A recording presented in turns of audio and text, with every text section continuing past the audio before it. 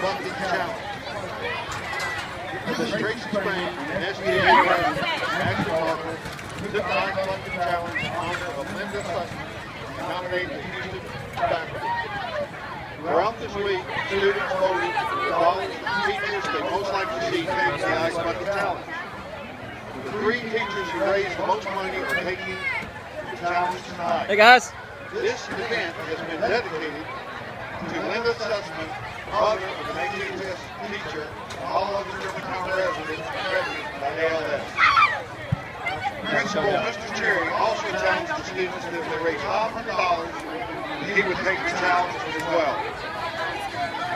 Mr. Cherry was informed this afternoon that he needed to bring a to the game because Houston High School raised a total of $601 to donate to ALS research.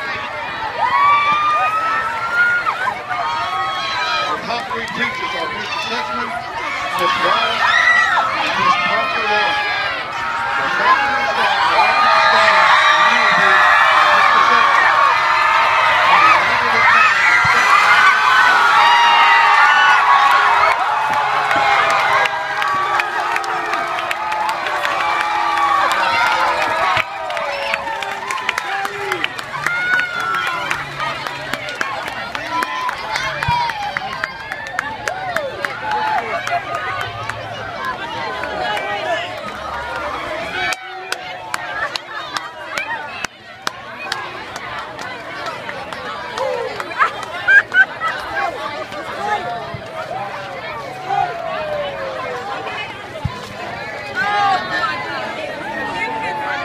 Um,